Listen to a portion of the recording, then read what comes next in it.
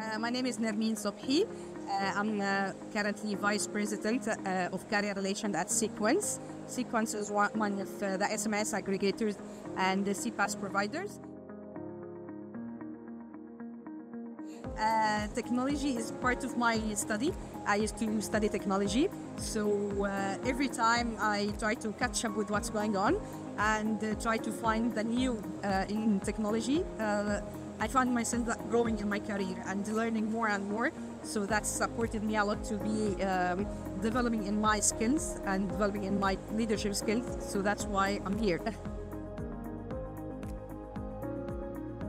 I'm inspired by my parents because they need they used to be leader in their jobs and actually um, in my career during my career i have a lot of mentors uh, who uh, supported me to learn how to be a leader and uh, putting myself in some situations when i have to lead people i find it i'm enjoying it actually how to work with people and get output through people and work with people as one team makes me feel that uh, being a leader is something natural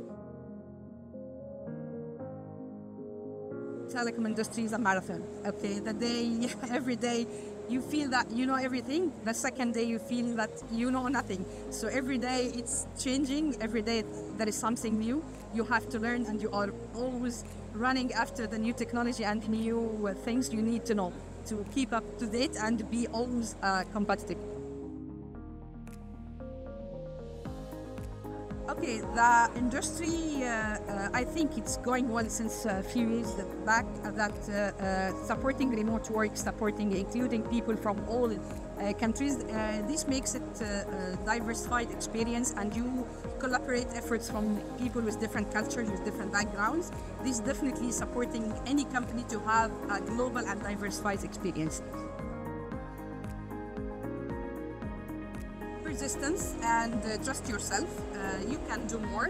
And uh, I don't think that your gender is making any difference in your outcome as long as you're doing your work and taking extra miles to, to approach what you want.